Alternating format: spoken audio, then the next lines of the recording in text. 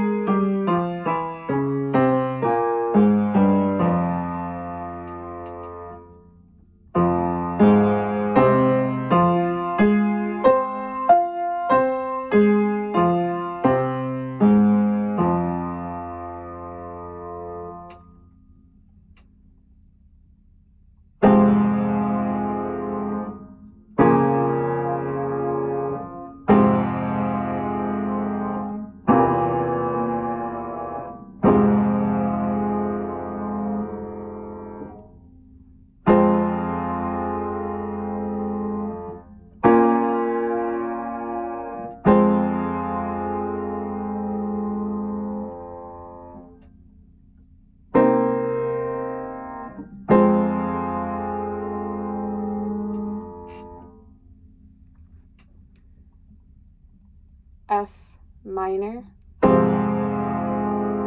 G diminished, A flat augmented, B flat minor, C major, D flat major, E diminished, F minor.